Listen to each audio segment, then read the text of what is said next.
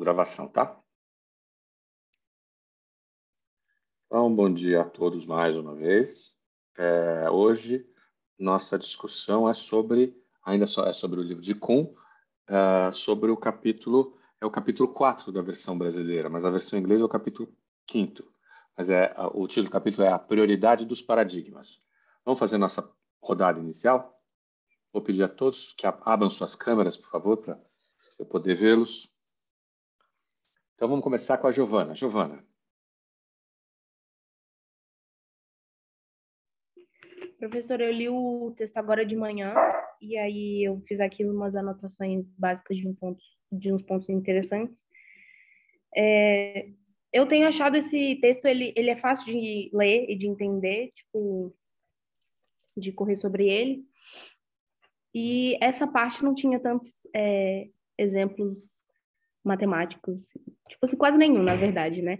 Aí eu peguei só os pontos aqui que falavam que a existência de um paradigma nem mesmo não se implica na existência de um conjunto de regras e também que experiências em comum não não significam que vão ter resultados iguais, tipo num, numa investigação, numa experiência, num... é sobre isso.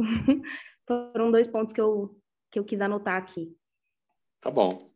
E você, Verônica? Oi, professor. Eu achei o texto mais rápido esse, né? Consegui ler ele ontem à noite muito rapidinho. Mas eu não sei se eu de fato entendi tudo. Então, eu acho que talvez no, no nosso debate a gente consiga me esclarecer as minhas dúvidas. Ou mas, não, quais, né? Então... mas quais são suas dúvidas, assim, as mais importantes, pelo menos? É, é, que ele levanta três pontos, né, sobre os paradigmas. E eu acho que não ficou tão claro essa questão. Alguns sim, o último que ele, que ele resume e tudo mais, eu consigo entender, mas acho que os dois primeiros fiquei assim meio na dúvida. Mas eu acho que no tá decorrer a gente. A gente tá bom. E você, Axa? Eu gostei mais desse capítulo, achei ele mais fácil de entender do que os demais. E basicamente eu entendi que a existência do paradigma não depende né, do conjunto de regras e que geralmente quando os cientistas não estão em acordo ali sobre soluções para os problemas né, das, das áreas em que estão inseridos, aí então busca-se o conjunto de regras né, para organizar o caos da discordância. Também acho legal que ele falou que a ciência é uma estrutura bastante instável, né? Concordo com ele. Ok. Vamos lá. E você, Caio?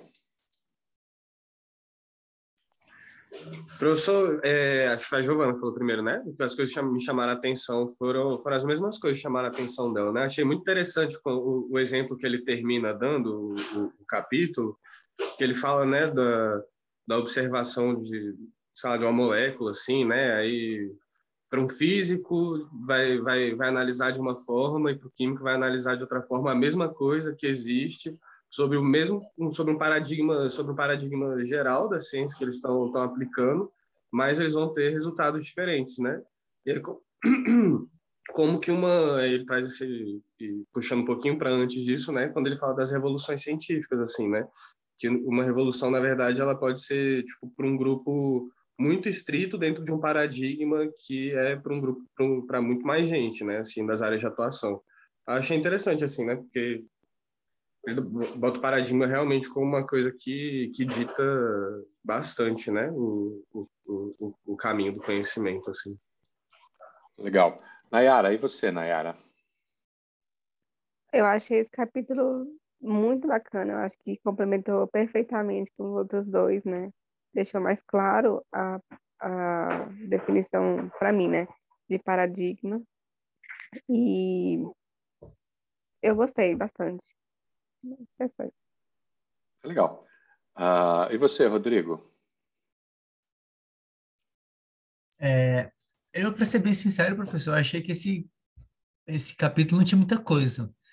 As não coisas que ele trazia. Coisa, ou tinha muita coisa, desculpa. Não tinha propriamente okay. dito nele. Eu acho que tipo ele levanta diálogos com as leituras anteriores, né, do, do, do texto.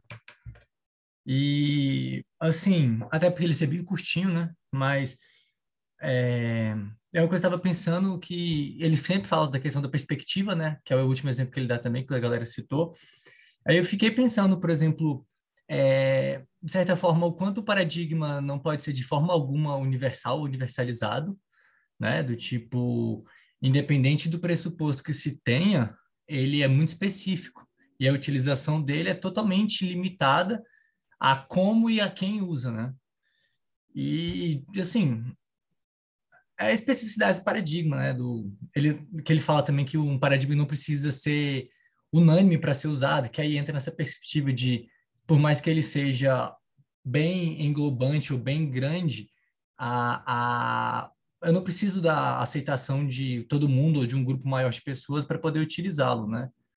E aí eu acho que a parte que fica mais legal, que me, né, me chamou a atenção foi isso, tipo, essa especificidade do paradigma. É, tá bom. E você, Daniele? Que bom tê-la conosco. Obrigada. Eu estou pensando aqui, vocês estão me ouvindo, né? Estamos. Tá. Eu tô pensando aqui que como o pessoal já falou bastante coisa, coisas que eu repetiria, é, eu sublinhei algumas coisas, de repente algumas dessas coisas podem trazer uma luz. Vamos ver aqui. Ah, tá. A relação entre regras e paradigmas, né? Em vez de falar uh, coisa por coisa que eu sublinhei. Ah, é, os paradigmas, eles são muito mais facilmente identificáveis e as regras, elas são abstraídas dos paradigmas. Eu entendo, pelo contrário, que ele, assim, ele mesmo diz, né, isso. Que assim, as regras, elas são muito importantes na fase de pré-ciência, né? Quando, tipo, não se tem paradigmas ainda. Então, é... tô meio surda aqui por causa desse fone de ouvido, ele é meio estranho, ele isola, tal, ele fica voz nasalada para dentro. Minha, minha já era, mas eu tô escutando mais ainda. Então, mas o que eu tava querendo dizer é que ele diz assim, ó, os paradigmas são abstraídos das uh, não, as, reg as regras são abstraídas dos paradigmas, mas pelo contrário são as regras primeiras, entendeu? Primeiro que vão formar os paradigmas. Aí depois dos, dos paradigmas estabelecidos, concordados por uma comunidade científica, as regras são meio que esquecidas. Elas estão nos manuais, tal, mas é tão difícil de ver até mesmo porque, como algum outro aluno aí falou, acho que o Rodrigo, né? Cada área do conhecimento usa os paradigmas de uma forma e tem suas regras de uma forma e de outra, então, quer dizer, as coisas se sobrepõem, mas não necessariamente de uma forma igual, então é muito difícil separar uma coisa de outra, né? As regras, então, elas são, tipo, menos trabalháveis, sabe, no dia a dia para a ciência normal, apesar de serem, claro, largamente usadas, né? Mas é muito mais fácil de você, para a história da ciência, identificar e conversar sobre os paradigmas. Sim. Ok, obrigado, Daniele. E você, Vitória? Professor, eu li o texto agora de manhã, um pouquinho mais cedo, porque eu tinha lido errado, eu tinha lido outro capítulo. E aí eu li ele um pouco rápido, assim, mas eu acho que eu peguei o principal. É, eu concordo com. Não vou lembrar o nome agora, deixa eu ver aqui. Com a Giovana, eu acho, e com o Caio, né? Que falaram dos exemplos do final. E eu achei interessante que ele fala também da reformulação né, dos paradigmas. Eu não sei se eu entendi certo, mas eu achei interessante ser colocado que é, os paradigmas eles sofrem diversas alterações, tanto teóricas quanto experimentais, e são reformulados, mas eu fiquei um pouco confusa com relação a esse princípio que ele cita, que eu não entendi direito se é um grupo qual princípio? Ele colocou os princípios com letra maiúscula. Só que, como eu disse, né, eu tive que ler ele um pouco mais rápido para conseguir entrar na aula. Aí talvez uhum. tenha sido algo que eu deixei passar no texto mesmo. Não, sem problemas. Depois você, depois você lembra aí quais são os, os, os princípios. Bom. Pode deixar. É... Gente, eu tenho uma relação eu acho esse texto congenial, mas eu tenho uma relação meio ambígua com essa distinção que ele faz entre regras e paradigmas. Eu acho que ela simplesmente não faz sentido. Vou dizer por quê, ok? É, repara que logo no começo ele usa a ideia do Wittgenstein, dos jogos de linguagem. Eu acho que o, o, esse texto do, do, do Kuhn, embora o Wittgenstein apareça apenas em alguns momentos, ele é influenciado pelo Wittgenstein. Em que sentido? Em que, no sentido de que você percebe o paradigma a partir da ciência que as pessoas fazem.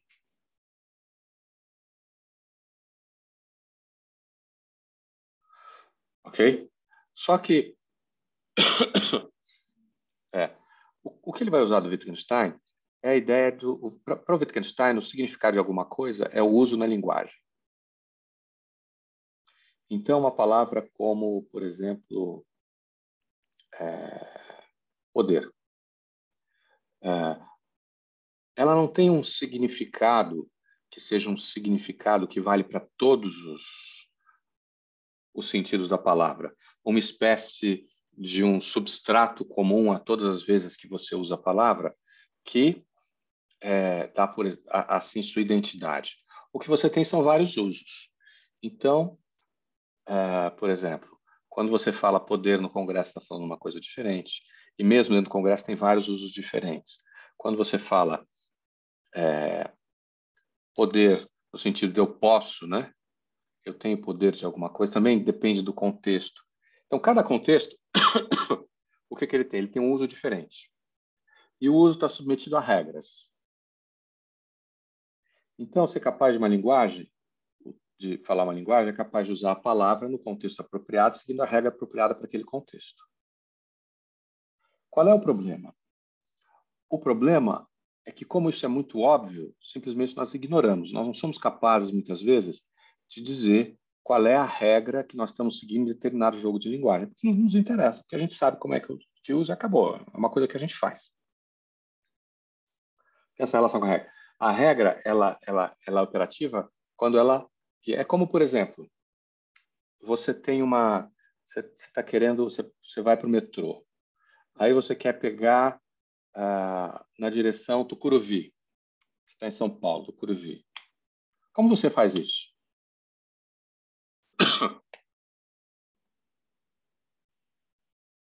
Ninguém andou de metrô nunca na vida? Olha o mapa. Você olha... Hã? Você olha o mapa? Você também faria isso, Daniele? Sim, sempre, com certeza. E É você? porque, na verdade, depende, né, professor? Se Ok. você, por exemplo, já faz um percurso e já conhece mais ou, mais ou menos a dinâmica, você não olha no mapa, você só vai. Mas se você está numa primeira vez ou em né, primeiras situações, você vai se localizar através de um mapa, sei lá. Bom, alguém já andou no metrô de São Paulo? Cara, pela, andar a primeira vez no metrô de São Paulo olhando o mapa é furado. É, furada, né? Você já andou lá, ô, ô, ô, Caio? Já. E aí, como é que você faz? Ah, ho- Hoje, professor, eu, eh, já peguei a manha lá do metrô de São Paulo, assim, mas as primeiras vezes eu fui só acompanhado, assim, para entender a dinâmica de descer, trocar de linha, ter descer dois andares de uma esta- na mesma estação para trocar de linha, mó, mó onda, velho. Muito diferente daqui, assim, que é só ir reto. É, que é só ir reto, né? Tá bom. Gente, é muito simples. Você olha a placa, vê assim, olha, direção Tucuruvi, vai por aqui. Aí você segue a placa. Não tem mistério. A placa está apontando para baixo, você desce a escada. Se a, se a, se a, placa está apontando para a esquerda, você vai para a esquerda. Está apontando para a direita, vai para a direita. Se está apontando para frente, você vai para frente. É, não, tem, não tem grande mistério. Mas como você sabe fazer isso? Você precisa de uma regra para essa regra? Ah, mas é, é uma regra condicionada, né? A seta direciona, ela te indica o que fazer. Da questão Toda dos regra é símbolos. condicionada. Toda regra é uma criação social. Não existe regra natural. Como será que você tem que ir para aquela direção? A flecha está assim, né? A flecha está apontando para cá. Como você sabe que tem que ser para lá e não para cá? Então, eu tenho que é, admitir a minha confusão, eu sou de São Paulo, né? Assim, a minha confusão lá é muito grande, porque tem um fluxo de gente seguindo por um certo caminho. Como é que eu vou saber se eu tenho que ir para aquele caminho mesmo? No final, a maioria tem sempre razão, entendeu? Você tem que realmente seguir o fluxo. Então, quer dizer, tem aquela dúvida inicial, né? Será que a placa está mesmo certa? Será que eu sigo mesmo o fluxo das pessoas? Mas isso é uma coisa, isso é uma coisa tão engraçada em nós brasileiros, né? A gente nunca confia na regra, né? Tem uma coisa assim, você tem uma, você tem uma regra, está enunciada assim, olha, prazo de entrega de menções é até dia 27. Você liga para o departamento e fala assim, olha, qual é o prazo de entrega das menções? Só quando a pessoa repete que é o dia 27 é que você confia no que está escrito. Né? É uma coisa engraçada, né? Vocês não... Vocês não você, todo mundo é assim, Daniele. Mas, assim, qual é o ponto do Wittgenstein? Regra, a regra é alguma coisa que a gente faz tem, um, tem uma, é, é uma coisa que está presente na nossa prática. Tem a regra apontando para lá, a gente vai para lá, pronto, acabou. Não tem outra explicação. Esse é o final da explicação. Eu não preciso de uma Professor, regra. Pra... Fala. É, eu acho até porque quando tem uma regra, e aí se a gente segue a regra, no caso do metrô mesmo, é, a gente chega na, na plataforma e aí quer ir para tal lugar, e ver que tem que mudar três, quatro vezes de linha e fazer X percurso. Se em determinado momento desse percurso a gente não chega onde a gente gostaria, porque a regra estava, em aspas, assim, errada, o caminho, as setas estavam botando erradas, é, aí a gente acaba reformulando, né, a regra, porque a gente encontra um problema. E aí... É, isso, quando a regra, quando a regra falha... Minha é dúvida gente... do texto... É. é, porque acaba sendo uma experimentação, né? Assim, no caso do metrô funciona para exemplificar, mas como é uma coisa que muitas pessoas usam todos os dias, as regras é, acabam sendo mais certas, entre várias aspas, assim, porque tem vários testes, né? Todo dia tem milhões de pessoas testando se ele está realmente certo. Aí você mas, tem uma pessoa outros... lá, você tem uma pessoa lá que vai pensar assim, qual é a melhor maneira de eu explicar para o cara que está aqui, que não sabe para onde é que, onde é que ele tem que ir. Você tem um cara que faz isso. Tem, tem a galera da logística do metrô também, que isso tudo. É, mas aí é, é um experimento, né? Acaba sendo assim, apesar da gente criar todas as regras, apesar não, como a gente cria todas as regras e são criações sociais, é, o próprio experimento social ele vai alterando essas regras, né, de acordo com as necessidades das pessoas e da experimentação mesmo. Então, então olha só, um paradigma. Então tem uma confusão aqui, eu acho, no Kuhn, que é são duas coisas. Uma coisa é dizer que ah, o paradigma não segue regras, ou, ou, quer dizer que o cientista não segue regras. Outra coisa é dizer que se você perguntar qual é a regra que ele está seguindo, o cientista é incapaz de formulá-la explicitamente. São duas coisas diferentes, certo? Sim, certo. Então, o que, que acontece? É, se a experiência pode ser repetida, esse é o, o todo, vamos dizer assim, uh, uma das, um dos aspectos que dá à experiência científica essa, esse valor de ser verdade, né? porque você pode provar alguma coisa, não importa em que laboratório você esteja, em que parte do mundo você esteja. Desculpe. Então, o que, que acontece? Não faz sentido dizer que a ciência normal não segue regras. Qual é o problema? O problema é que o Wittgenstein, quando ele está fazendo isso, ele está pensando em acabar com a filosofia. Então, o ponto dele é pegar um conceito, como o conceito de é, referencialidade da linguagem, é, de signo como aquilo que você pode apontar no mundo, etc., e vai destruir essa, essa concepção. Baseada no quê? No uso de exemplos, no qual o jogo, a regra do jogo é outra. Então, ele vai fazendo o quê? Ele, vai, ele pega um conceito e ele vai dividir em usos. E se você for acompanhar os usos, o que, que você vai perceber? Que aquela, aquela coisa que você tinha dito anteriormente não faz sentido. Ok? Então, o que, que o Stein vai propor? Vai propor o que ele chama de família de semelhanças. Ou semelhanças de família, melhor. O que, que significa? Que o que o, o conceito, qualquer um, e aí o conceito e palavra para eles são coisas, são transitivos, né? você pode usar um para o outro.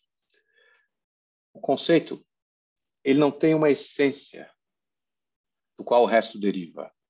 O que caracteriza o conceito, a unidade do conceito, é o que ele chama de família de semelhanças, ou semelhanças de família, que são as semelhanças que você encontra entre os membros de uma família. Eles têm o mesmo nariz, eles têm um jeito parecido, o cabelo. É mas, assim, é, é uma rede de semelhanças. Então, por exemplo, com, ah, com meu pai, eu talvez tenha, ah, sei lá, o, o, o, o meu queixo, queixo seja semelhante, com a minha mãe é o olho, com meu, com meu filho é o nariz, com o meu outro filho é o jeito. E aí vai, né? Ou seja, é uma rede de semelhanças que vão se cruzando e, e colocando. E ele vai sugerir que um paradigma é alguma coisa assim. Você pode pensar no... Eu acho fraco. O que, que eu acho? Eu acho que você separar tudo em usos pode ser bom para a filosofia, mas não é bom para a sociologia. Porque, como antropólogos, a gente sabe que uh, onde você encontra a sociedade, onde você encontra o, o sistema simbólico? Nas relações.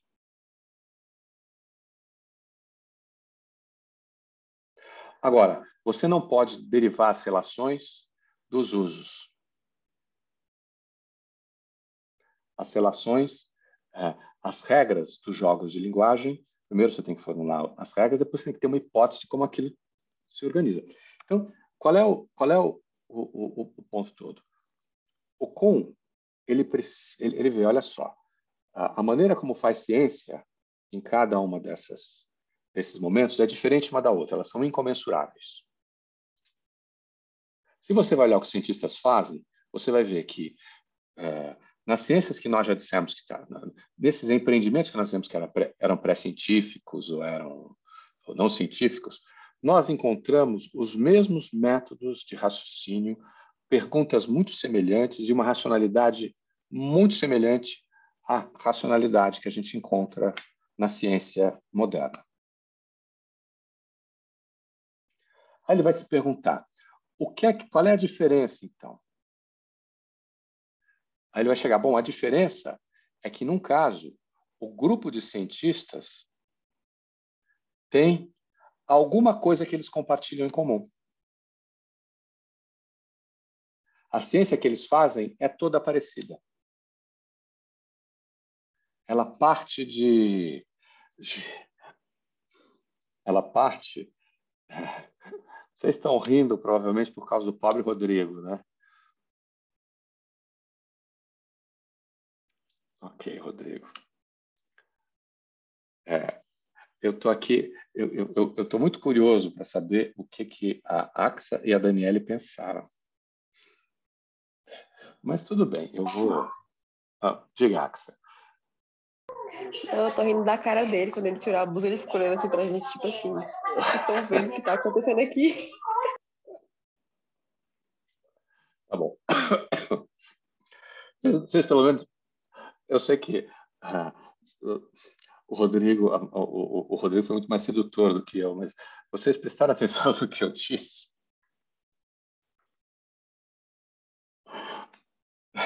Tudo bem, Daniele? Posso continuar? Tá. Então, ele tem essa, essa noção de paradigma. Qual é o problema, então? É a relação entre paradigma e regras. Ou seja, mas mas e qual é o problema? O problema é que algo que é uma regra, um determinado jogo de linguagem, não necessariamente é a mesma regra, é, é, é, é uma regra num outro experimento científico.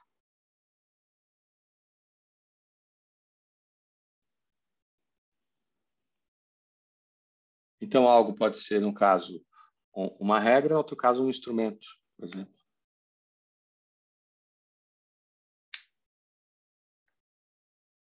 Fez sentido? Eu gostei aqui de uma parte, foi a parte que eu mais gostei. Assim, Ok. as partes que eu, que eu, que eu considero relevantes eu marco em azul. As que eu, tipo, acho, assim, que são, tipo, bem resumidas, né? então muito interessantes, eu marco em verde, né? Aqui tá em verde assim, ó. O fato de os Peraí, cientistas... Peraí, peraí, peraí. Compartilha com a gente a tela.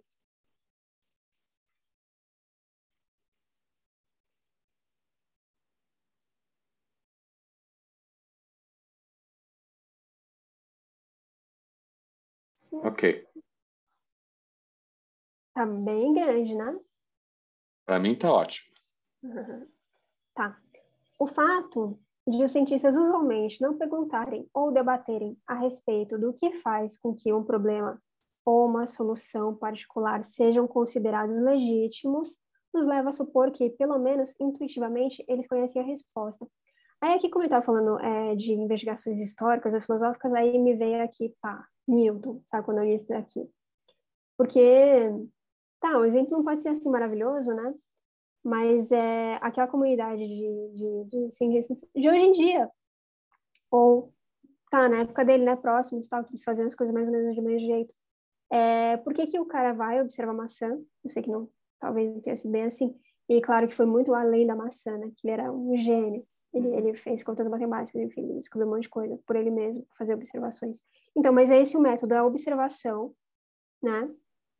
E não sei o que ele fez depois para fazer as contas mesmo da gravidade, né? Para provar que ela existe de uma forma matemática. Mas aquilo foi aceito pelos cientistas da sua época. Eles não debateram ou perguntaram, mais ou menos, né? Claro. Não, é, porque talvez nessa época até podia se dizer que era uma pré-ciência, que ainda não tinha paradigmas. Uhum. Mas, assim, eu acredito que tem coisas que hoje em dia, se você fala assim, ah, o Newton fez assim, olhou a maçã, caiu, tal, não sei o quê. Todo mundo vai falar, não, tá certo. É, não vão discutir esse, esse método, sabe? A, a coisa. Você vai no experimento de laboratório, você mistura X com Y, dá explosão lá e tal. As pessoas não vão ficar perguntando o básico, sabe? Ah, por que você escolheu a substância tal e não a tal? Sabe? Não, não vão ficar realmente no... Agora, tem um período em que isso é, é feito. Mas eu achei interessante que há muito, é, muito, uh, muitas possibilidades, né? Aliás, muitos períodos é, é muito recorrente que as pessoas não questionem sobre exatamente os métodos. É, porque é, é como a placa do metrô, é uma coisa que você faz, ele é óbvio. Você não precisa de uma explicação, porque é uma coisa que você faz, está tão, tá tão, vamos dizer assim, é, tão, tão imerso nas suas práticas que simplesmente você não precisa olhar para aquilo. É como é, Wittgenstein, para ele, a, a, regra, o papel da regra é exatamente como essa placa. É alguma coisa que você faz. Você olha para a placa, você sabe que você tem que ir para aquele lugar. Você não precisa de mais do que isso. Tudo bem? Todo mundo foi até aí? Tá bom. Então, uh, acho que você já pode parar de de a gente está acostumado a estranhar o que familiar, exatamente, Axa. E o, o, e o Wittgenstein tem uma, tem uma expressão que ele vai dizer o seguinte: o que mais me interessa é aquilo que é difícil de enunciar justamente porque está à frente de todos. É absolutamente invisível. Todo mundo foi até aí? Tá, olha só. Aí tem uma segunda, tem uma, tem uma segunda questão aqui, que é uma questão que a gente, se vocês quiserem, eu, eu entro. Qual é a relação entre é, paradigmas, é, ciência normal e revolução científica? Precisa entrar nisso ou a gente... Eu acho que seria bom falar sobre. Vocês concordam? Tá bom. Então, peraí. Deixa eu usar aqui o whiteboard. Onde é que está o whiteboard aqui? Ah, claro.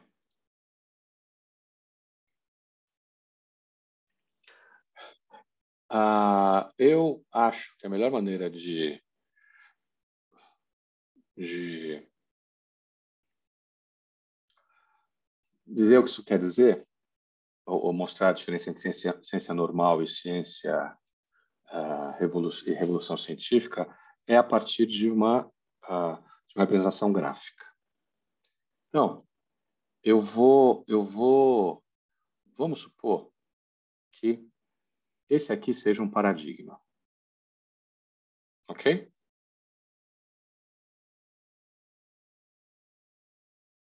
Hum.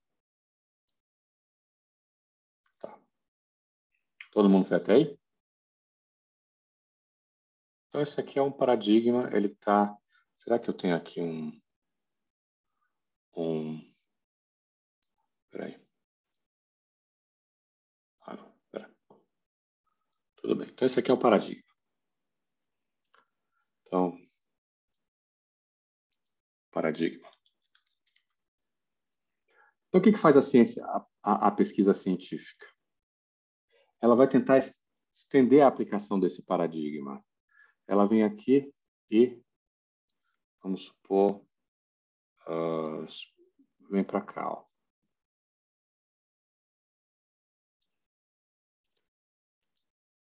ó, tá vendo? Vamos, deixa eu botar aqui que fica melhor. Esse aqui é o paradigma original. Então, ela vai ela vai estendendo. O que é a pesquisa científica? Ela vai fazendo isso aqui, ó. Ela vai tentando expandir a aplicação do paradigma. Chega um determinado momento, e o que, que você encontra? Você encontra, é, vamos dizer assim, é, anomalias. O que, que são anomalias? Anomalias são coisas que você não consegue resolver. Aqui, ó. Anomalia, anomalia, anomalia, anomalia. Que que são? O que que significa? Aí você aqui consegue... É... Aqui você consegue, aqui você consegue fazer a expansão, tá vendo? Mas aqui você não consegue. E aí você vai por todo lado aqui, conforme você vai, você vai expandindo o paradigma, o que, que você vai fazendo? Você vai encontrando os limites desse paradigma.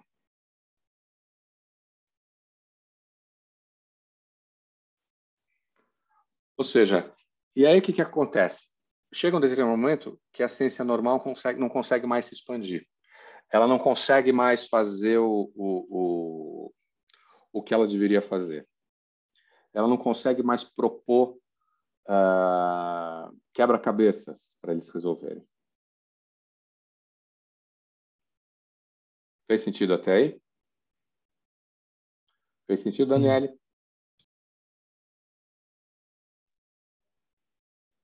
Sim. O que, é que você faz?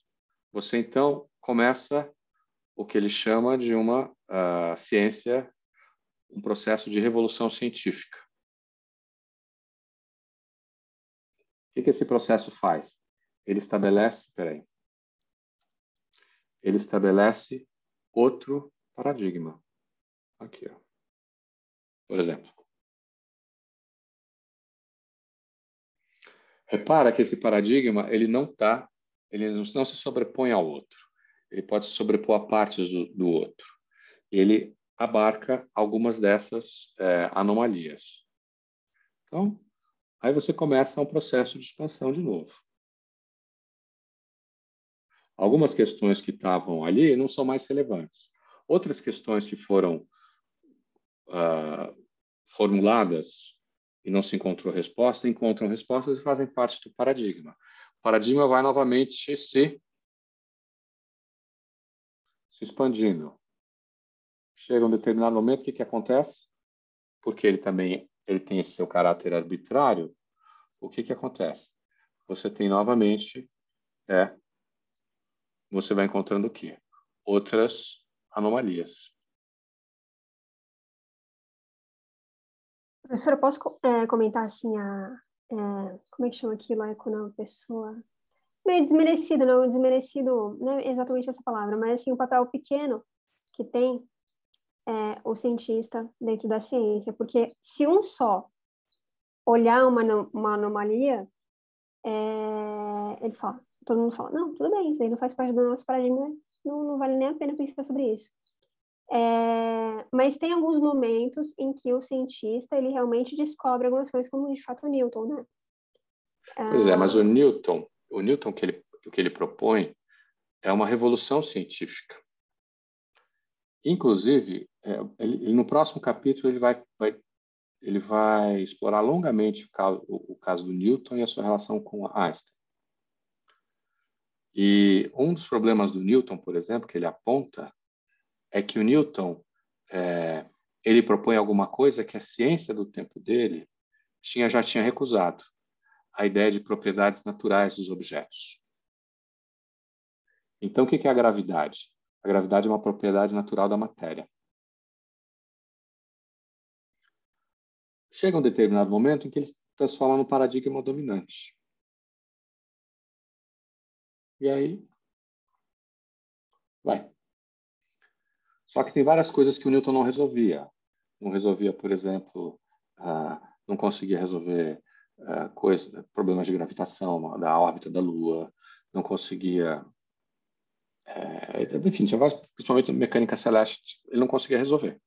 Então, como ele não conseguia resolver a partir de Newton, pessoas ou deixaram de lado ou simplesmente afirmavam: não, Newton vale para velocidades iguais à da luz. Ponto. Quando Einstein entra, o que, que acontece? O que, que, que é um paradigma, então? Um paradigma é uma maneira de ver o mundo.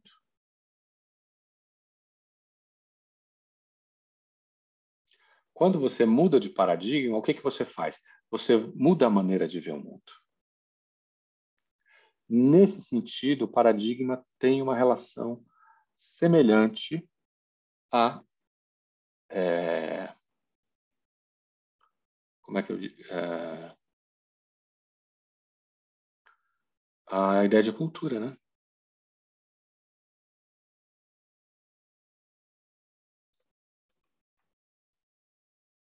Oh, não sei se você vai achar boba essa comparação, mas será que para as ciências sociais, assim, criam duas visões de mundo, é, a da direita e a da esquerda? Acho que não. Acho que tem mais do que duas. E acho que essa é um pouco a diferença. Eu acho que quem trouxe exemplo, eu queria voltar. A, vamos, posso, posso apagar isso aqui? Tá. Então. Tá. É, voltamos todos, né? Ok. É, o, Caio trouxe um exemplo lá do final do capítulo, no qual Kuhn vai falar sobre é, é, a diferença entre a química e a física, como é que eles vão ver uma molécula. Quando ele está falando disso, ele está falando de dois paradigmas diferentes, duas ciências diferentes. O Kuhn. Algo semelhante não acontece com as ciências sociais?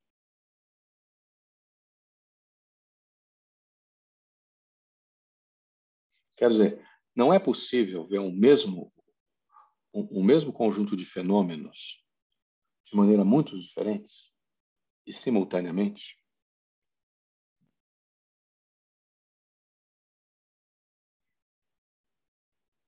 O que, que vocês o acham? Se, o que se mais vê, né, em políticas públicas, discutir uma, uma, uma proposta de governo, né, é, por exemplo, tá, Será que eu posso dar esse exemplo? Eu, eu já usei tanto nos travestis. Era um programa de governo do, do PT, né? Uma mulher gravou no, no WhatsApp. Ai, porque eles querem colocar travesti na universidade, como se assim, todo mundo quisesse virar travesti porque é, vai ter bolsa, né? Aí eu falei assim, mãe, não me preocupa que os, que os travestis, assim, três ou quatro, sabe, mais, dez, vinte ou cinquenta, não sei. Porque, primeiro, vai mudar a vida deles, né? Eles vão ter uma profissão. É, segundo, ninguém vai virar travesti só para ter bolsa na universidade. Daí é uma coisa assim, não, não funciona. Se você já é, você é um grupo minoritário, você talvez merecesse alguma ajudinha no governo ou precisasse, que é o que é melhor ainda, né? Assim, tipo, merecer não tanto, mas assim, precisar, precisa, entendeu? Uhum. E eu, eu, né, essa discussão sobre cotas mesmo, né? Parte da, da, da população é a favor, as que precisam. parte é contra as que querem manter o seu, enfim, sua continuidade né? Na, na, na sociedade, no patamar social. É, ou seja, um exemplo? É. É, é, é, ou seja, o que você tem na sociedade é uma multiplicação, de, pelo menos a nossa, é uma multiplicação de pontos de vista diferentes, muitas vezes incompatíveis e contraditórios entre si. Embora todos eles pertençam à nossa sociedade, a gente conhece como pontos que estão presentes no nosso tecido social. E as ciências sociais, particularmente a antropologia, vai tomar isso como, ah, vamos dizer assim, o seu arroz e feijão. Isso é uma das coisas importantes que nos interessam. Como as pessoas, a partir do que, que elas veem, como que elas veem, como que, apesar das diferenças, você tem algo, você tem é, coisas em comum, como rituais, como uh, uh, valores englobantes, etc. Como que você utiliza e você cria narrativas a partir disso? Qual é o sentido, quais as regras que isso forma? Qual é o, o, o a cosmologia que está por detrás disso?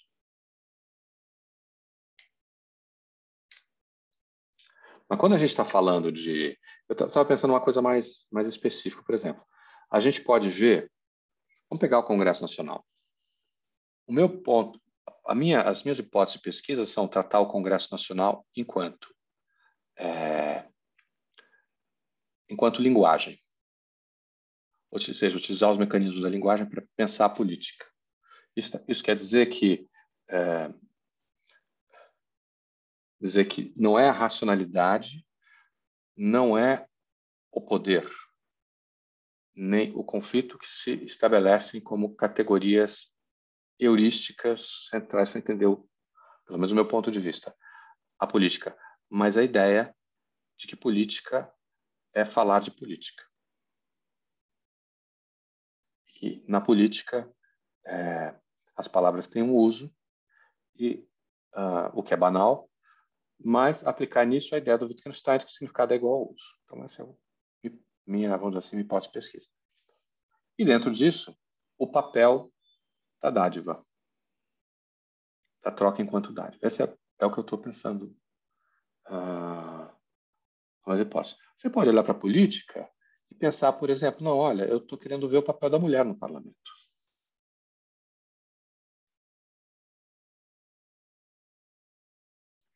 Ou não, eu estou querendo ver o papel dos grupos de direita. Eu estou querendo examinar o, uh, a maneira como uh, hoje o YouTube o YouTube não, o, o Twitter e a mídia social influencia na circulação das palavras dentro do parlamento e na relação dos políticos com os seus constituintes.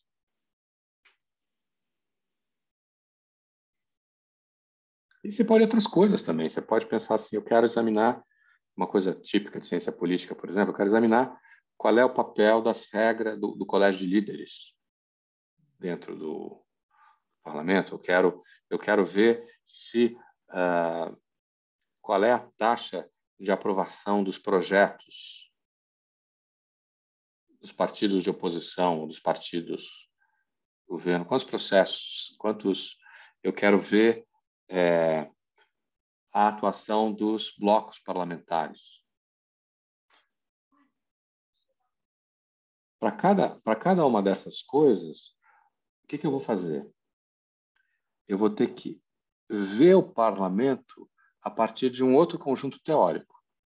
O conjunto teórico que eu vou usar para pensar para pensar a política como linguagem e troca não é o mesmo que eu vou usar para pensar a política a partir a atuação dos blocos parlamentares. Nem a atuação das mulheres, por exemplo.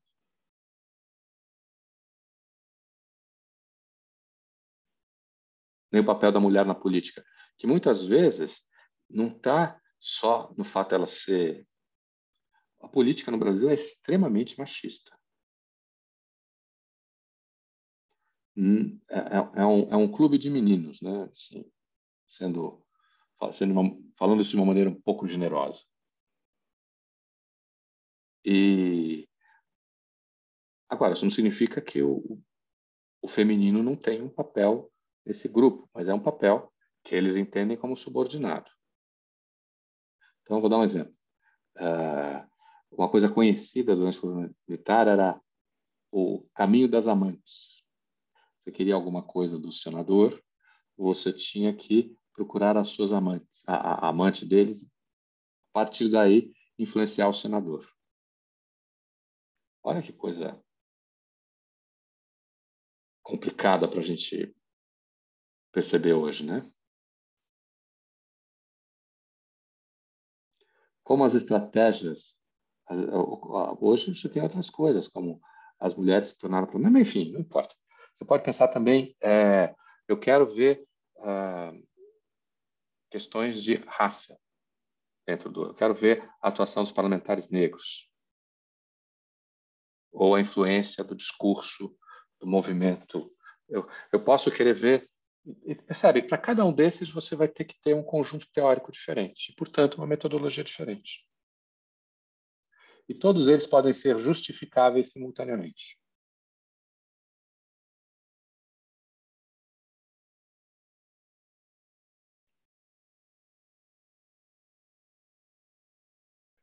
Posso falar uma coisa que eu descobri? É, é, mudando um pouquinho de assunto, mas, nossa... Foi assim, foi, foi interessante. Ó, é, sabe todo esse livro de autoajuda? A psicologia dos Estados Unidos é behaviorista e como que o behaviorismo se comporta para as questões humanas é isso. Mas, Acorde não ser... toda, não toda. Lá eles têm uma coisa behaviorista muito forte, é verdade, mas não é toda assim não. Ah, ah sim. Mas é muito e tem uma influência muito forte do behaviorismo nas uh, na psicologia que é feita a partir das uh, nominações religiosas. É a muito interessante. Não entendi. Das, das religiões, das denominações religiosas lá. Por exemplo, metodista. Eles não são católicos, eles são todos evangélicos, né? Nos Estados Unidos eles são. Não, lá não faz sentido dizer evangélico. Hum. Eles são. Eles, eles não são. É, é, é são todos cristãos, mas não, são católicos, é verdade. E então, a psicologia é super interessante. O sujeito tem casos assim. Tem um texto muito legal que é o texto do Crapanzano, que é From the Pulpit to the Bench, que ele vai fazer uma relação entre o direito e os evangélicos. Ele escreve isso lá quando Bush se elege. E uma, uma das coisas que ele vai a, a, falar, não me lembro se está no livro ou se quando ele está falando com a gente ele, ele contou, que era assim, é, por exemplo, você tinha lá um caso de um sujeito que estava com um problema enorme, ele todo dia que saía da ele saía do trabalho, ele passava pela rua onde tinha onde tinham os clubes de striptease. E provavelmente os bordéis, né? Aí ele passava por aquela coisa e, e tinha calafrio, estava frio e se sentia em conflito, porque, afinal de contas, na sua religião, a, a sexualidade é super reprimida, né? E, e aliás, é, é interessantíssimo essa, esse paradoxo na civilização americana. Ao mesmo tempo, a repressão à sexualidade e, ao mesmo tempo, uh, essa expressão quase descontrolada da sexualidade, como que vai dar no Trump, que vai querer transar com uma uma atriz pornô, né? E uh, então você tem o, aí qual era? Aí ele foi psicólogo do foi psicólogo da denominação da denominação religiosa. O que que psicólogos para ele? não passa mais nessa rua. Problema resolvido. Não é? Percebe? Então, então percebe? Você não, você não passa mais na rua. Ok, vai. é, o que tu querendo dizer aqui para a gente, o que é uh, pouco científico, muito normativo, não sei o que lá, para eles é ciência, escrito por PHD, esse livro de autoajuda são extremamente baseados na ciência deles. O paradigma é diferente, é, né? Que, é, que, não é, que não é bem uma ciência paradigmática no sentido comum, né? não é uma ciência normal, tem... é uma outra coisa. E é claro que também, é, e aí isso traz toda uma série de problemas, né? Que a gente vai começar a discutir a partir do próximo texto. Então, eu queria fazer agora uma, uma outra rodada. Eu queria, uh, queria perguntar, e aí? Quais são as diferenças que a gente tem entre o que o Conta está propondo e as ciências que a gente pratica?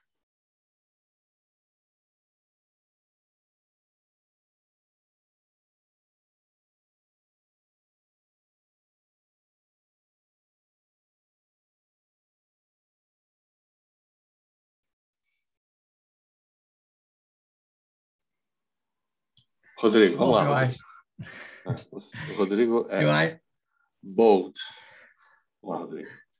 Eu acho que, assim, é coisa que a gente já tinha conversado também, né? Mas a própria a posição do paradigma dentro da ciência, né? Igual, por exemplo, essa questão de é, superação ou não de paradigmas é uma coisa que para a gente não faz muito sentido, né? Assim, a coexistência de paradigmas Igual, por exemplo, você deu um exemplozinho lá né, da questão do, da diferença da ciência normal, paradigma e revolução científica, e que você até falou, quando um novo paradigma surge, ele na verdade não tem relação com outro paradigma, ele tem relação com as coisas que se desdobram desse paradigma, né? Para superar, etc. É, um outro, é, um outro, é uma outra maneira de ver o mundo. Sim. E aí, por exemplo, dentro da ciência, né, ciências humanas, a gente pode ter um mesmo paradigma falando sobre tipo assim, paradigmas diferentes falando sobre um, uma perspectiva única, né? Então, não sei, acho que para mim esse é o primeiro ponto, né? Assim, não tem essa, essa distinção, assim, de um paradigma por vez e criar um movimento todo para a superação de um. Na verdade, a gente está sempre voltando atrás, né? Para reconstruir novas teorias e etc.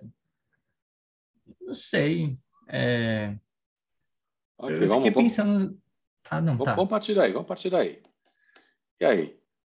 Verônica, o que, que você acha?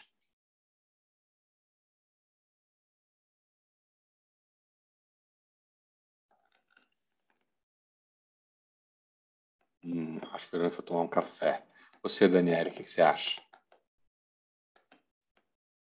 Passa a palavra, eu posso retornar daqui a pouco. Caio, vamos lá, Caio, você quer você que está aí nas sombras. Não sei também, professor. Queria ouvir mais um pouco também. Tá bom. Giovana, e você, Giovana? Estou na mesma, professor. Hum. Tá bom. É, uh, você, Vitória? Professor, eu estou achando a discussão muito rica como eu li o texto muito rápido, eu tô não tô perdida no assunto, eu tô entendendo, mas muitas informações, eu tô processando aqui tudo e fazendo umas anotações para quem sabe no final da aula conseguir um parecer sobre toda essa discussão. Tá bom. E você, Nayara? Eu também vou fazer companhia com os meus outros colegas. Os, os seus colegas. Axel, e você também? Vocês estão parecendo não, políticos, gente. Não, nada a declarar. Eu vou fazer um questionamento, professor. Oba. Como é que fica o, o conjunto de regras em relação à nossa ciência, as sociais? A gente usa. Na minha cabeça, sim, né? Acho que tudo claro. tem regra. Não tem, não tem, não, não tem como fazer. Não tem sentido sem regra. Pronto. Ponto. Agora, que regras são essas? Isso é uma outra discussão, né? Não, é, é, é uma diversidade de regras e paradigmas é. que Eu acho o seguinte. Primeiro, olha só, diferenças. Primeira, é, é o que o Kai, é, é, o que o Rodrigo falou. Uh, nós não superamos teorias. A gente agrega, né? A gente, a gente reaproveita, né? Então, você pode dizer que Durkheim foi superado? Não, Marx foi superado? jamais. Também não. E algumas coisas talvez você não use mais. Uhum. Um dia podem voltar, né? Alguém pode recuperar. Você não faz, ninguém mais ninguém mais usa Durkheim, assim. Mas a gente incorporou várias das coisas que estão em Durkheim. Como em Marx, etc. Então, a gente, como Weber também, a gente não é à toa que eles são os clássicos da, da gente, da sociologia. Então, assim, primeira, primeira, coisa. Segunda, é o que eu já tinha dito, mas eu vou repetir. Ah, você, a diferença das ciências ah, paradigmáticas no sentido de Kuhn, você pode pegar partes de teorias muito diferentes. Você não, e ao pegar partes dessas teorias, você não precisa aceitá-las todas ou refutá-las todas. É basicamente o nosso, o nosso paradigma, ou paradigma, a gente é, vai juntando, é como se fosse um mosaico, né? Várias coisinhas e formam uma coisa só, mas não Uhum. chega a ser uma coisa pura, né? Uma coisa única, específica. Você, o exemplo que eu, que eu quero dar é o exemplo que a Daniele trouxe lá na primeira, na nossa primeira, nosso primeiro encontro foi do Bourdieu, né? Olha aqui, Bourdieu está dialogando com Marx e, e, e Durkheim, mas ele, ele constrói alguma coisa dele a partir de ideias que estão presentes nos dois, né? De, ou a maneira como ele interpreta os dois, os dois. A segunda coisa, a terceira coisa é que quando você vai fazer um trabalho, você necessariamente vai é, precisar construir o seu arcabouço conceitual, que é a sua metodologia. É a teoria a partir do qual eu vou observar o objeto. Pode ser que você não explicite isso na, na sua tese, no seu trabalho, mas você vai precisar, e ela vai precisar ser coerente. Por quê? Porque você vai precisar defender essa coerência face a outro, a, a, a, aos seus interlocutores. Então, por exemplo, diga. É, um amigo, né, ele ia defender a tese dele de monografia. O problema é que ele é anarquista. Ok. E aí, é, Que ele departamento? Começa por aí. foi da ciência política, Ok. que é conservadora aqui na UNB. Aí a professora falou, não, tá ótimo, mas é o seguinte, você colocou vários problemas do capitalismo, mas você não apontou uma solução. Não, é isso mesmo, professora, não tem solução. Mas tudo bem, passou, né, nota 10, sei lá, foi isso super bem. Mas ela colocou esse ponto, ele achou engraçado, né, e, e aí tava relatando para mim.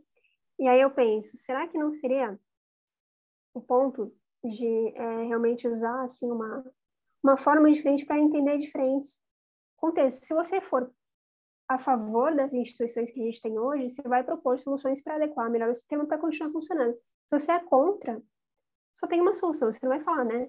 Ainda mais assim, tá? É, socialismo comunismo poderia ser uma revolução popular. Mas o anarquismo talvez nem passe por uma revolução popular, porque quem seria o novo líder, né? A, a, mas- ele, a força. Daniel, eu te pergunto o seguinte: dizer que a gente precisa transformar a sociedade numa sociedade anarquista é uma solução para alguma coisa? É, então, não, ele, não, ele não propôs isso como uma solução. Agora, não sei se seria uma solução para alguma coisa. Vocês acham uma solução? Vocês acham que é possível? Eu, é, olha, o, o que eu acho é o seguinte: é, a- a- as nossas ciências não têm uma aplicabilidade como tecnologia que tem outras, que tem as ciências que o Kuhn está descrevendo. Não tem. E ah, quando você quando você propõe uma solução, você propõe uma solução como parte dessa mesma sociedade. E aí entram várias coisas, como sua posição política. Ah, aí chama o Fayabent. É. Eu também adoro o Fayabent. Eu acho ele o máximo. Então, o que, que você faz? Você chama. Você está tá muitas vezes está reproduzindo suas posições políticas, suas, uh, sua maneira de ver o mundo, ou mesmo sua opinião dentro do. que às vezes você uh, ou não pode derivar da, da sua teoria ou metodologia, ou você simplesmente adapta uma outra. Pode acontecer. E aí vem a discussão se a ciência deve ser neutra. Isso é um, isso é um mundo, né? É um mundo. É, mas o que a gente tem, no fundo, eu acho que é, é um campo de diálogo, debate, no qual ah, as teorias nunca são abandonadas por completo, mas elas são o quê? Elas são reforçadas com outros argumentos. E aí o conjunto vai se movendo de alguma maneira. Professor. Fica. É... Não sei, eu estou um pouco encucado com isso, assim, porque pegando o exemplo máximo, assim, para antropologia, né? O ramo de ouro ali, Fraser, o começo da antropologia. Não tem uma virada. Eu não, diria, eu, não, eu não diria que é o, é o exemplo máximo, mas tudo bem, porque hoje ah, mas Fraser não, um, é execrado. Não, né? É, então, exatamente, exatamente isso, sabe? Assim, tipo, um exemplo bem grosseiro, eu acho, assim, na verdade, né? Foi isso que eu quis dizer porque não teve uma virada gigante dessa forma de pensamento para hoje. Você acha que é uma reformulação, não, a sobreposição mesmo de paradigma, assim, para se pensar a sociedade? Pois é, mas olha só, as críticas que a gente faz a Fraser, por que, a gente lê Fraser até hoje? Para a gente saber o que a gente está saindo, é. fugindo, né? É, mas primeiro, não a gente, a sociedade, a gente interpreta mal Fraser.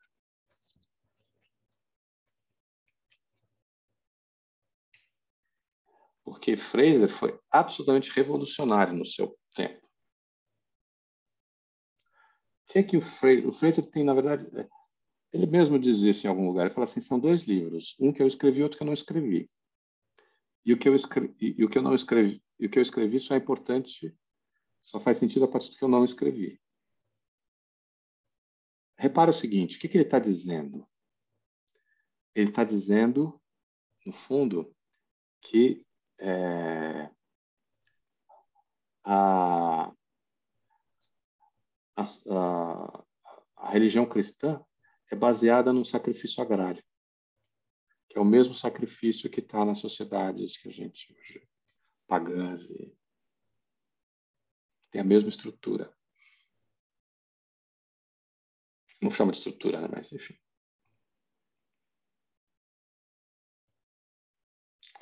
Aí a gente chama ele de evolucionista, a gente diz que ele descontextualiza, que tudo é verdade, que tem aspectos que são preconceituosos e tal, mas hoje, no, no, no, no momento de hoje, mas quando a gente diz isso, a gente está sendo anacrônico, no sentido lá da história. Alguém aqui é da história? Você, você sabe o que é anacronismo para eles? É a mesma coisa que etnocentrismo para a gente. Quer dizer, é parecido, é a mesma coisa quando você vai ver uma outra sociedade a partir dos conceitos que são das nossas, que não se aplicam àquela sociedade. Anacronismo é a mesma coisa. Você vai utilizar um conceito de hoje para jogar uma situação que aconteceu há, há 120 anos atrás, para o qual os conceitos de hoje não fazem nenhum sentido. Não, sim, professor, sim, mas aí eu concordo, concordo plenamente com, com você, assim, eu acho que a gente tem que ver, tem que trocar, trocar a lente, né, quando vai, vai ler uhum. pessoas mais antigas, teóricos mais antigos, tudo concordo plenamente. Mas isso não caracteriza uma mudança de paradigma para a gente? Olha, é, sim. Uh, mas não no sentido com, eu acho. Talvez você, talvez você pudesse dizer que o evolucionismo foi um paradigma. Ok. E a mudança para a antropologia, que foi, na verdade, foi o, o primeiro Marinovski, né? que foi o trabalho de campo, Agora, é engraçado que o, o Marinovski, os Argonautas, ele está até prefaciado pelo próprio Fraser, que vai dizer que esse é um belo exemplo de sociologia descritiva. Ou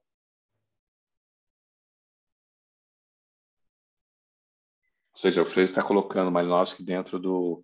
Claro que Malinowski está revolucionando tudo, porque ele está dizendo: olha, isso que ele está falando é etnocêntrico, isso, né? Você tem que entender a, a, coisa nos seus próprios termos, você tem que ir lá, viver lá, falar a língua, falar a língua nativa, não essa coisa de, de uh, varanda, né?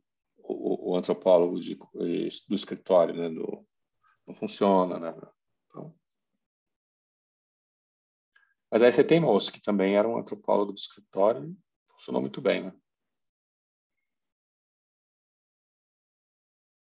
Professor, dentro dessa perspectiva que Caio citou, por exemplo, eu acho que é interessante a gente pensar nesse sentido. Na questão que, beleza, de uma certa forma superou-se o paradigma, mas aí a questão não superou-se completamente, porque hoje a gente vai pegar antropólogos que caem no, no vacilo de ser etnocêntricos. Então, eu acho que nesse sentido a gente nunca supera nenhum paradigma, porque por mais que para dialogar com ele, para fazer críticas ao que a gente está fazendo hoje, eles precisam ainda estar de alguma forma valendo. Seja totalmente na negativa, mas é mais para dar esse puxão de orelha e, tipo, descer um pouco, sabe? Então, é, acho, acho, que, que sim, nesse sentido não se supera jamais. É, você vê só, a gente leu, a gente leu em, em Indivíduo, Cultura e Sociedade o, o Elias, que tinha várias coisas que estavam no Fraser. Né? Na verdade, Caio Rodrigo, né? O resto, vocês talvez esse comentário não faça sentido, desculpe. Tudo bem? E agora, como é que fica então? Como é que a gente aplica isso na nossa pesquisa?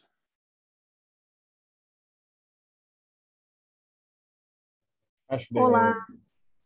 Hã? Quem ia falar? Pode falar primeiro. Não, pode falar, fica à vontade. Então, então, é que a, nas ciências sociais a gente esbarra muito no problema que é o problema da ética. Sabe, quando a gente está escrevendo alguma coisa, a gente tem que ter cuidados para não ser preconceituoso, né, etc. Aí alguns, alguns historiadores, né, da sociologia, sei lá, escreveram coisas assim, é, tipo, marginalizando, né, os povos negros, tentando colocar eles dentro, trazendo para discussão, mas sempre diminuindo. Mas, ao mesmo tempo, talvez na mesma época, tinha, tinha gente escrevendo é, a sociologia, sabe, do, do, do, negro, assim, contando a história, é uma, é uma história de muita luta, superação, né, enfim. Então, quer dizer, assim, nada marginaliza... É, não, eu acho que você está entendendo, né, quer dizer, eles tentaram fazer uma coisa boa, mas eles foram preconceituosos. Toda hora que você está tentando esclarecer uma verdade que você vê na sociedade, e a sociedade tem problemas, você pode esbarrar com palavras, conceitos, sabe? Algum terminho que você coloca que não cai bem. E aí uhum. isso, é, eu acho que nem é a questão de ser sociologia ou não ser sociologia, né? Mas é de você ser cancelado, né? de você... As pessoas terem, não, não vão citar o seu nome, porque você não é o científico para ciências sociais. Então, eu acho que talvez uma... É, para hoje, né? Uhum. O paradigma das ciências sociais é quando você não está sendo preconceituoso, não está... Entendeu? É, eu acho que eu acho que você tem razão, mas eu só não diria que isso é um paradigma. Eu acho que isso é talvez um, uma regra, mas por outro lado, você também tem espaço nas ciências sociais para uh, é, coisas que caminham numa direção contrária.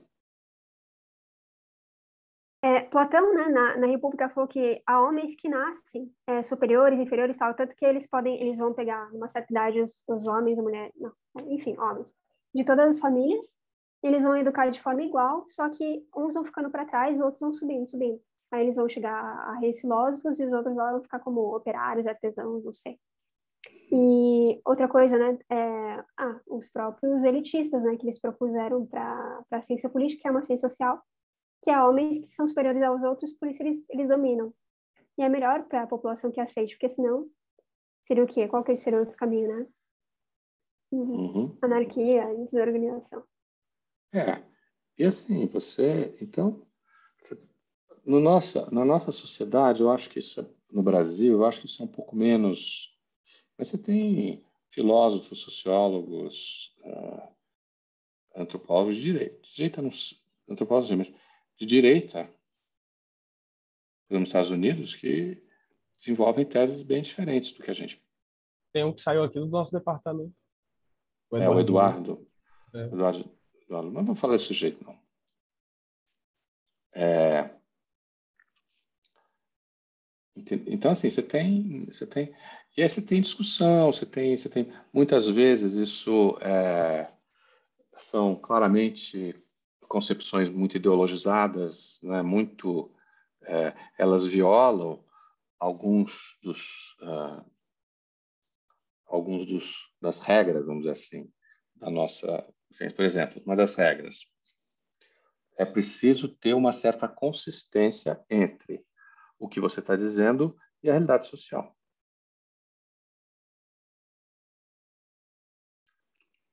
Com isso, eu não quero dizer que o conceito de verdade, você vai saber a verdade do que é a sociedade, não. Mas você tem que ter alguma consistência com o dado, né? Ou seja, é, é, como é que eu posso como é que eu posso dizer que é, é por exemplo que a, a que a política não é machista, vamos supor.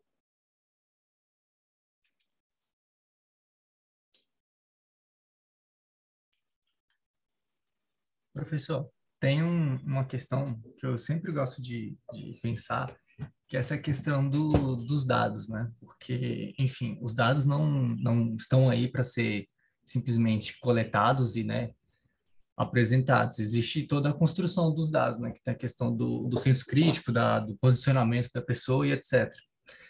Aí, tipo, é um negócio que nunca sai da minha cabeça, a questão lá do, do Lombroso, né? Então, do tipo, ele construiu um dado e fazia muito sentido, assim, né? Para a comunidade do, com qual ele conversava e no tempo onde ele estava.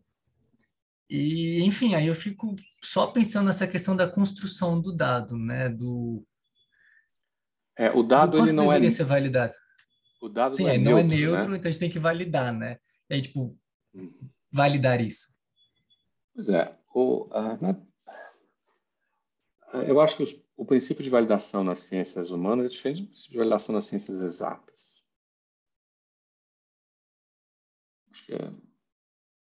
Nas ciências exatas se tem, vamos dizer assim, tem muito a ver com a, a experiência, né? A, laboratórios, e, enfim, os vários tipos, em última, desenvolvimento de tecnologia, etc. No nosso caso, não, né?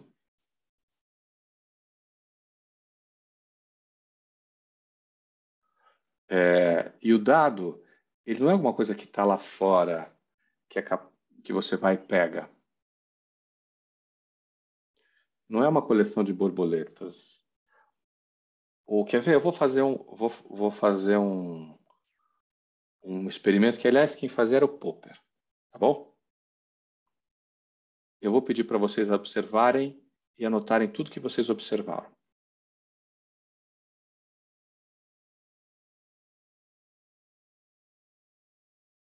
É para fazer agora com os elementos que a gente tem na nossa casa? É, eu quero, mas eu, eu quero que vocês. Qual é o problema dessa pergunta? Observar o quê? Precisamente. Observar o quê? É... E a partir de que critério?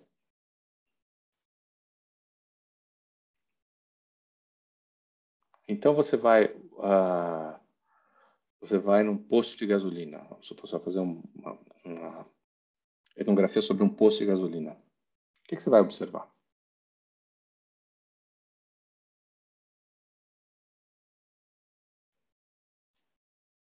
A, a é etnografia é sua observação ou pode fazer pergunta para as pessoas? Pode entrevistar, né? Claro, deve. Não é que pode, deve. Eu, ah, eu comecei ah, com uma, com, com uma frentista, não sei porque ela começou a falar lá tal, mas, mas foi super legal. Acho que até peguei o telefone dela. Ela falou que viajou para tudo quanto é lugar do Brasil. Do mundo não, né? Mas é, ela faz trilha ou escalada, não sei. E ela viajou um monte, entendeu? Ela conhece vários lugares, Alto Paraíso, ela já veio, etc. Acho interessante. Vamos ver assim, né? É, qual que é o nível Mas, cultural sendo, do pessoal. Sendo frentista? É, na, é, na verdade, eu acho que é. Não sei. Não sei se ela tinha acabado de chegar. Não sei, não sei. Ok. Então, você vai, o que, que você vai observar? A observação que a gente faz não é assim, a gente, não é a gente estar tá vendo um objeto que a gente está observando por um microscópio, ou por um aparelho, ou por uma coisa. O que você vai fazer? Você vai se relacionar com essas pessoas. E é nessa relação que você vai extrair seus dados. Pessoas diferentes vão conseguir dados diferentes. Por quê? Porque, é, é, porque essa é a natureza das relações.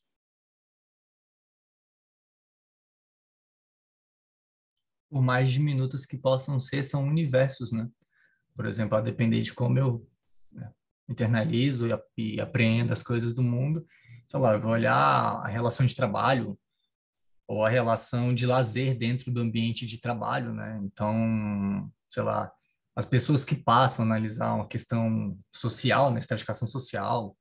Então, enfim, não sei. Pois é, é uma pergunta é, que não cabe. E aí você vai, aí você vai, mas quando você vai, você não carrega só o seu as suas teorias. Você tem teoria na cabeça, não é só isso que você está levando para lá. Você leva você inteiro. Você leva, você leva, não, não é só um.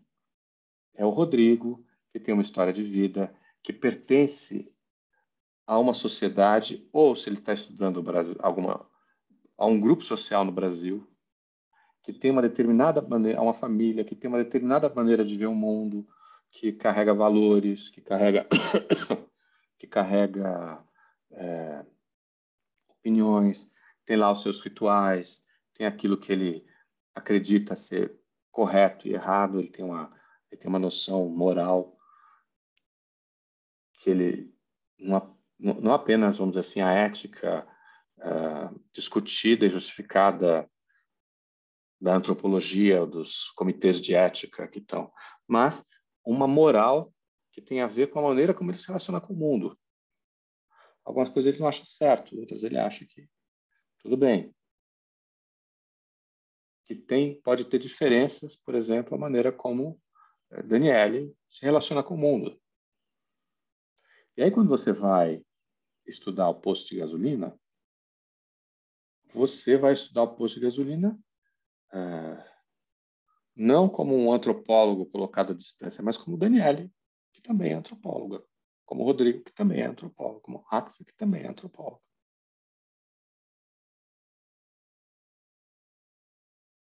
Ah, então, é, lembrei uh, do escritor, que ele era médico, e ele coletava a forma como as pessoas falavam, né? E escreveu isso dentro do livro. Eu acho os livros dele horríveis. Eu esqueci o nome dele. Mas tudo bem. Você lembra qual que é esse daí? Não. Ah, tudo bem. É, aí você pode chegar no posto de gasolina e ver qual é linguagem que as pessoas usam. Outra forma também bem diferente de, de pesquisar, sei lá, o nível social ou coisa assim, é analisar a saúde delas. Né? Ele, como médico, só vê a linguagem. Estranho. É, você, aí você fala assim, o que, que eu vou ver? Mas qual é o problema? O problema é o seguinte, você... É, ah, mas qual é o problema? Esse encontro de você com as pessoas que estão no posto de gasolina não está submetida a um método.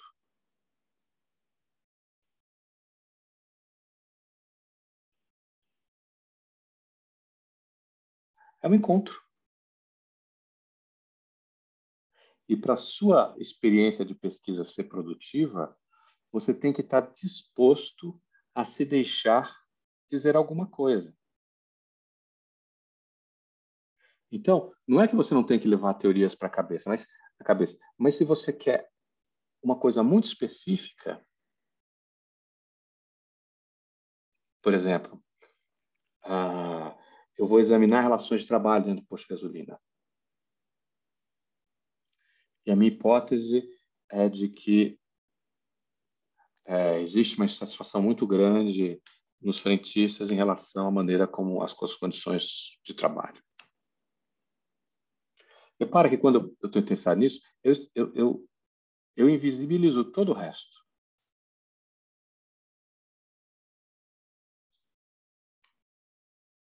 O senso de humor dessas pessoas foi para o espaço, a maneira como elas é, veem não apenas o patrão, mas o, os,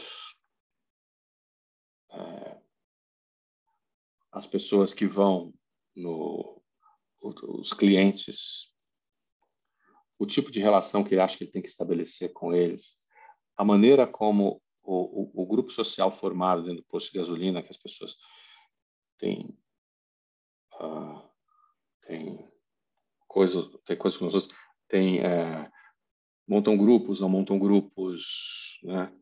Enfim, aí vai, você tem. É, é, então, o, o, o que que acontece? o antropólogo, quando vai falar, fazer isso, vai fazer uma etnografia, é claro que ele pode ter um ponto de interesse. Não, estou aqui para perceber essa. Mas o que, que ele vai tentar fazer? Ele vai tentar, ele não vai tentar examinar isso a partir de uma coisa muito estreita. Ele vai reunir dados e vai dialogar com esses dados, tentando pensar o quê? O que que essas, o que que uh, isso, isso aqui está me dizendo? Também tem a lógica de afetar e ser afetado, né, professor? Claro. Outras perspectivas se abrem quando, né, o seu quem dialoga com você te afeta e te abre novos horizontes, né? É, talvez a, maneira, a melhor maneira de fazer uma pesquisa é, é pegar um emprego num, num posto de gasolina.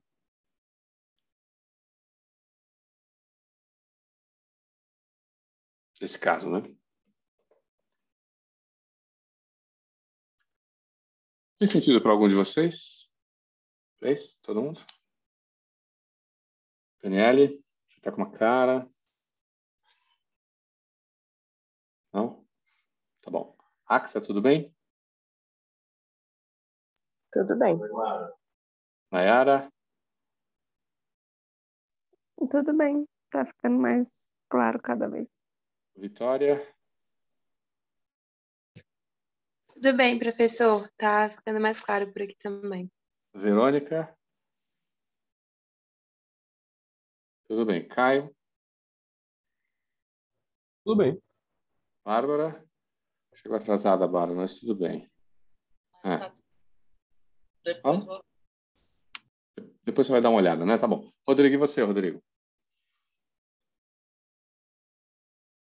Ah, professor, eu, sempre muito falante, mas eu, eu gosto, eu gosto. Eu tô... Assim, como eu falei, tipo, durante, pelo texto eu tava meio sem muito coisa e tal, mas as discussões realmente ajudam bastante. Por isso que eu também gosto de falar para me estimular a pegar Claro, pontos, claro. né? Tá bom, olha, ah, vamos fazer o seguinte, então, para a próxima aula, vamos, peraí, deixa eu terminar aqui nossa